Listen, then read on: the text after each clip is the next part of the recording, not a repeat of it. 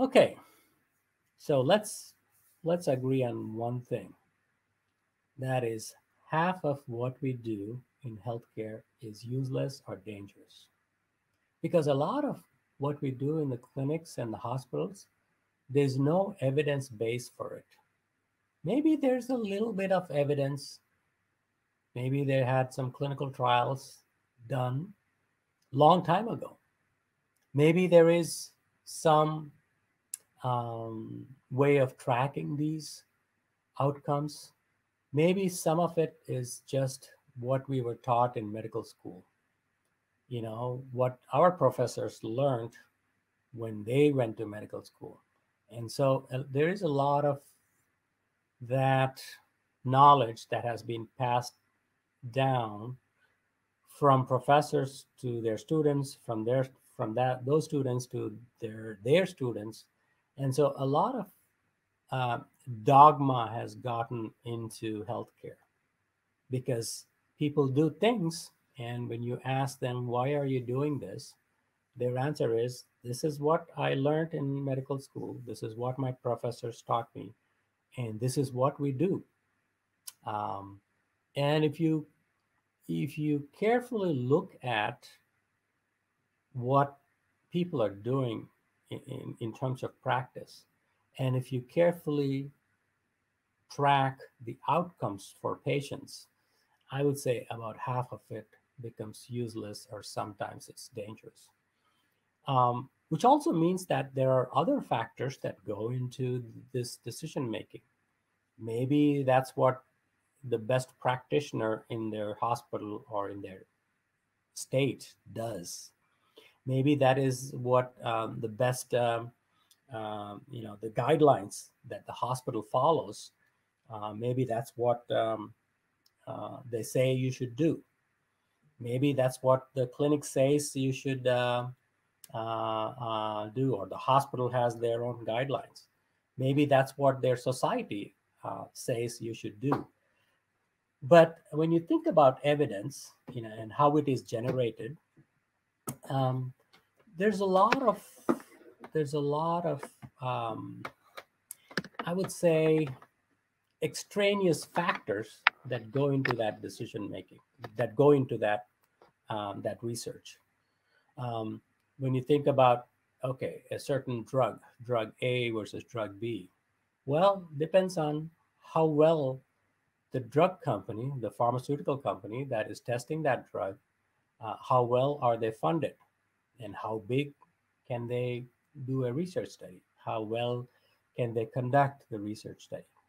And until somebody comes and disproves that, you know, we still take that as for granted because they have done their research. But then that research was done 20 years ago or 30 years ago or 50 years ago, and we still follow those um, those recommendations or guidelines. So um, I'm going to talk about a little bit about the big picture in healthcare and what is happening, uh, and then you know obviously I know I uh, this is more of a U.S. based um, impressions, but you know eventually this will apply to the rest of the world, and even in India, you know I see that some of these changes happening. And so I'll give you a big picture first. So first thing that is happening is that the population is aging. Uh, for example, as we uh, as countries develop, the younger population, which is at the bottom of this graph, if you can see this graph, uh, at the bottom of the graph, it shrinks. So there are less and less babies born and people are living longer. So you see at the top where there's older population, their numbers increase. And so when that happens, you know that there's a lot heavier load on the healthcare system. Because as people get older, they have more diseases, more chronic disease, and they'll need more care and that is why it costs more money to take care of them and so here's an you know a rough uh, estimate of how much it costs to take care of patients. If you're 65, it costs about $20,000 on average. And by the way, these are 2017 numbers. And so now it must have gone up even more. And if you're if you're 30, you know, you're much healthier, so it'll cost less. So as time goes on, the con- the countries they become more developed, which means that they're producing less babies, and so there'll be much older population. So relatively, the cost of care keeps going up. Here's the um, world economies based on their GDP. Um, again, this is uh, a few years old, but it's relatively, you know, the same right now. Um, so USA eh, is the largest economy, and then China, Japan, Germany, UK, France, and India. Um, I'm sure India has grown a little bit more and and has uh, uh, come moved more to the left, but um, overall, you can see how these big economies are the size of the big economies relative to what they spend on healthcare. In the US, roughly 20% of the economy or 20% of the budget is spent on healthcare. Now, if you put that on this graph, it'll be about as big as the economy of Germany. Now, this is the whole country of Germany, which is the fourth largest economy in this graph. And so that is the amount of money US is spending on healthcare and that's pretty big. And it and it keeps growing. The percentage of healthcare spend is growing each year which means that it becomes unsustainable in the future. And that is that is a trend in in most countries but obviously us is is, is the worst um, when it comes to cost of um, providing healthcare. Um, this graph uh, looks at consumer price index, and which means that you know how much does something cost over time, right? Roughly, we're looking at relative numbers. So, um, you know, for example, you know, if you look at you know at the bottom, you know, healthcare is the obviously the purple one. This is the one that it keeps going up and up and up.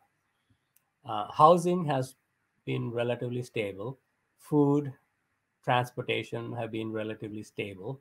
Transportation actually came down um, because you know we are building better, uh, better automobiles and better public transportation. Uh, look at clothing. Clothing has actually come down, so it is cheaper to buy clothes uh, relatively now than it was in 1984. But what is happening with healthcare? Healthcare keeps going up, and that is not, you know, uh, sustainable in the long run. Um, if we look at the advanced countries and we look at spending on healthcare compared to their performance, you know, when we look at performance, we, we look at, you know, things like kind of how long do people live? How is their infant mortality rate? How is their you know uh, how well are they able to take care of their elderly? How well are they able to control high high blood pressure or diabetes or things like that or cancer? If you look at this graph you can see that the us is spending a lot of money. In fact it spends more money than any other country. And uh, you can see that uk australia netherlands and these other advanced countries um, and performance wise it is very poor out of these you know if you if you look at the line that crosses here the gray line that's the average. And and the us is way at the bottom. But on spending it is way to the right. That means it's very spending a lot of money. And what is happening with research?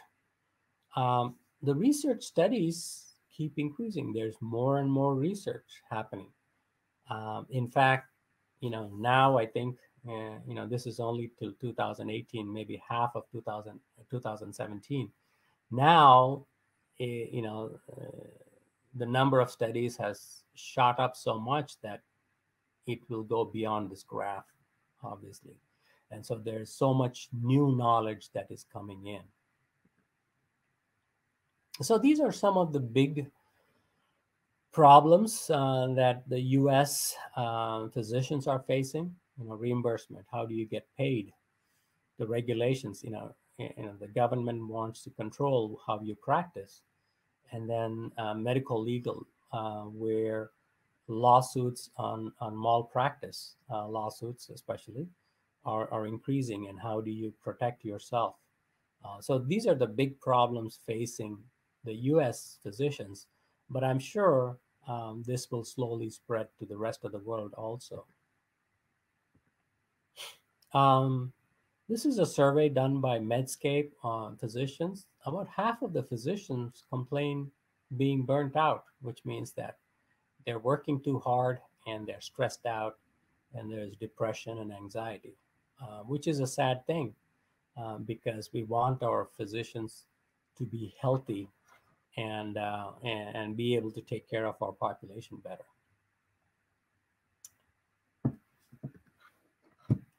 Um, so what is happening with data?